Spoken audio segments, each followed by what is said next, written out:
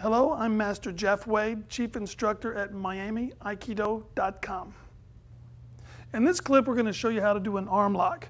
Aikido is actually full of arm locks. So in this one, we're going to do kind of a unique one where Master Koski ends up in kind of a hasso position at the end.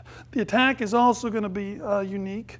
Master um, Newman is going to attack with a katate dori or a same side wrist grab as well as a punch.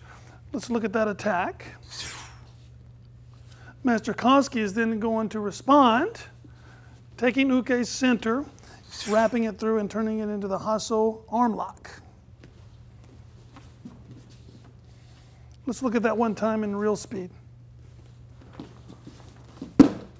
This is Master Jeff Wade. Thank you for watching.